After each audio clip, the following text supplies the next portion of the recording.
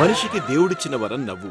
ఆ నవ్వుని కొన్ని కోట్ల మందికి పంచటానికి ఆ దేవుడు దివిరించి భూమికి పంపిన కారణజన్ముడు ఈదర వీర వెంకట సత్యనారాయణ ప్రేక్షకలోకం ముద్దుగా పిలుచుకునే ఈవివి సత్యనారాయణ. అత్తో అత్తమ్మ కూతురో మెత్తంగా ఎత్తు వేసేయమ్మంటిరో చిత్తో చిట్టమ్మ కూతురో మతంగా సత్తా చూపించమంటిరో సినిమా రంగంలోకి రాకముందు మన ఈవీవి గారు కూడా ఊర్లో హీరోయేనండోయ్.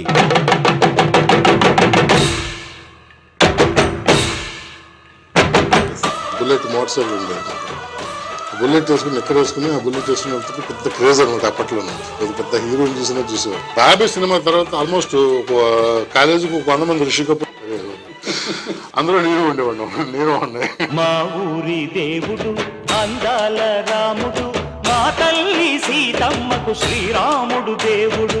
కళామ తల్లి ఒడిని చేరడానికి చెన్నై వెళ్ళి దేవదాసు కనకాల గారి దగ్గర అసిస్టెంట్ డైరెక్టర్గా ప్రారంభమైన సినీ ప్రయాణం ఆ తర్వాత జంజాలి గారితో సుదీర్ఘకాలం కొనసాగింది. దర్శకుడిగా పరిచయమైన చెవులో పువ్వు చిత్రం పరాజయాన్ని అందించింది. ఓటమికి భయపడిన వాడు జీవితంలో గెలవలేడు అని నమ్మిన వ్యక్తి గనక ఓటమికి కుంగిపోలేదు. ఈవీవి గారిలోని ప్రతిభని నమ్మి తన బ్యానర్లో సినిమా చేసే అవకాశం కల్పించారు రామానాయుడు గారు. ఐ లివ్ ఫర్ యూ అన్నది ప్రేమ.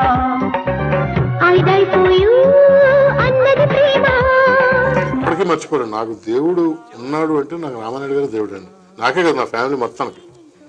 ఆయనే ఆదర్శం అండి నాకు నిజంగానే. ఒక నలుగురికి హెల్ప్ చేస్తే మనల్ని దేవుడు బాగా చూస్తాడు.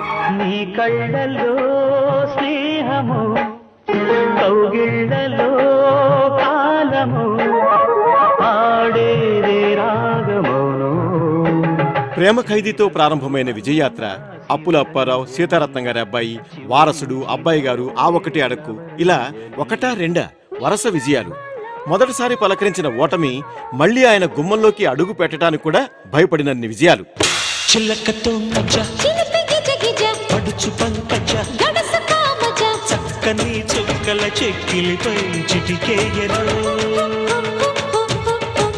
సినిమా పరిశ్రమలో ప్రేక్షకుల్లో ఈవీవి అంటే ఒక నమ్మకం.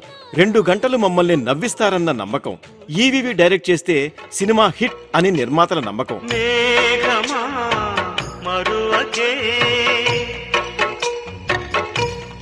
మొదటి సినిమా చెవిలో పువ్వు నుంచి యాభై ఒకటవ సినిమా కత్తి కాంతారా వరకు. ప్రతి సినిమా టైటిల్లో ఈవీవి మార్క్. డైలాగ్స్లో ఈవీవి మార్క్. నవ్వించటంలో ఈవీవి మార్క్.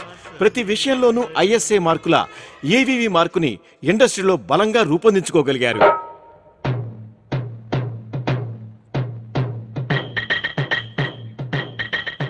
ఒకవైపు తెలుగులో స్టార్ హీరోలతో సినిమాలు తీస్తూనే మరోవైపు బాలీవుడ్లో అమితాబ్ బచ్చన్ లాంటి సూపర్ స్టార్తో సూర్యవంశం అనే సినిమా కూడా చేశారు. ఓ పక్క హాస్యరస చిత్రాలు తీస్తూ మరో పక్క కన్యాదానం తాళి లాంటి ప్రయోగాత్మక చిత్రాలు కూడా తీసి విజయం సాధించారు.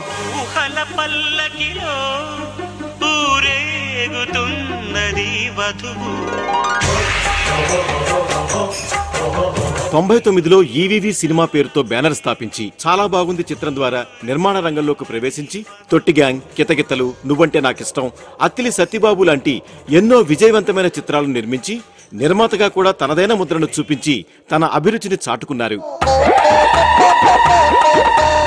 ఆ అమ్మాయి నచ్చిందా?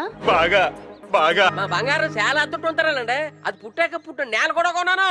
అందుకే మట్టి కలర్లో ఉంది అండ్ పక్క తీసుకెళ్ళిన రెమ్యూనరేషన్ నుంచి బాగా ఒకండి ఇదిగో పెళ్ళికి సామాన్ కూడా మందే. ఫ్రీ అనుకుంటాడేమో దానికి రెంట్ సెపరేట్ అని చెప్పండి. మామూలుగా షూటింగ్ అంటే లైట్లు కెమెరాలు హడావిడి. కానీ ఈవీవి గారి షూటింగ్ అంటే నవ్వులు కేరింతలు కోలాహలం. అందుకే నటీనటులందరికీ ఈవీవి గారి షూటింగ్ అంటే పండగ. పండగంటే గుర్తొచ్చింది. మన ఈవీవి గారు సంక్రాంతి పండక్కి ఏం చేసేవారో తెలుసా? పండగ ఏదైనా వస్తే పండగ అనమాట నిజంగా పండగ. ఎందుకంటే డబ్బులు ఇస్తారు ఇంట్లో. ఒక పావలాకి ఒక సైకిల్ తీసుకుని నలుగురు కుర్రాళ్ళు. ఒక సైకిల్ మీద. ఒక సైకిల్ మీద నలుగురు. అంటే వాడి దానికి మళ్ళీ స్టాండ్ ఉండేది కదా వెనక.